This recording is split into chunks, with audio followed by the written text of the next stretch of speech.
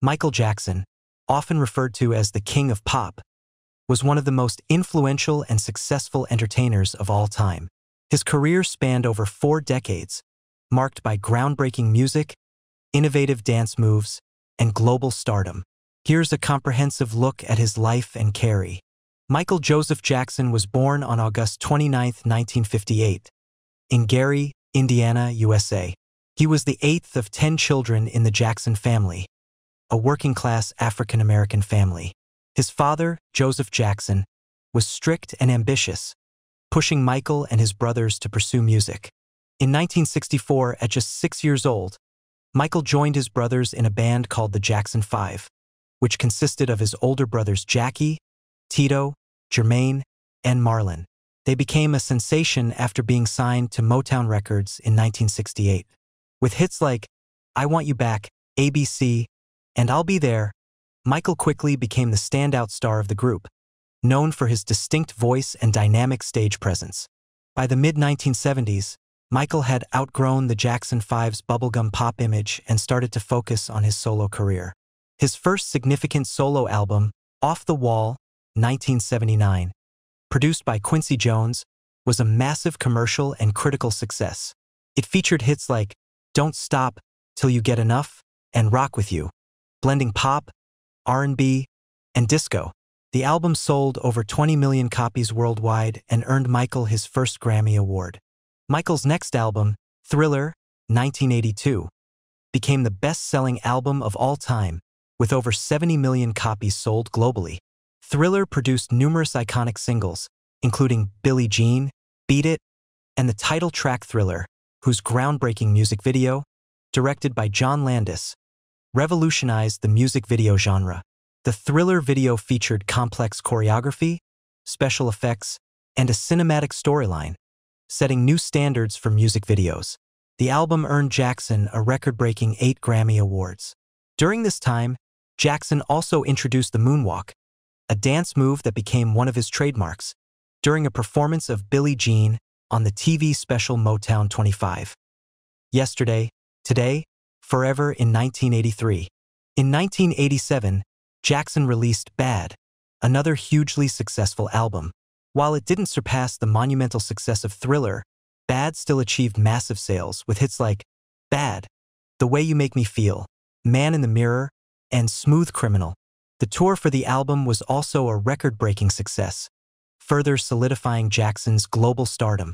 By this point, Jackson was known for his elaborate and theatrical performances, his innovative music videos, and his perfectionist approach to both music and stagecraft. In 1991, Jackson released Dangerous, featuring the hit Black or White, which addressed issues of racial harmony. This period also saw Jackson involved in numerous philanthropic activities, using his platform to raise awareness for various causes, including children's rights and global poverty.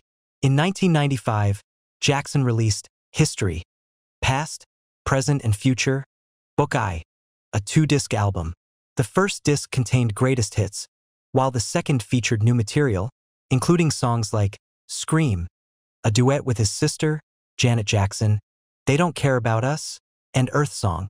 The album was a response to the controversies Jackson faced, including child molestation allegations in 1993, which he vehemently denied.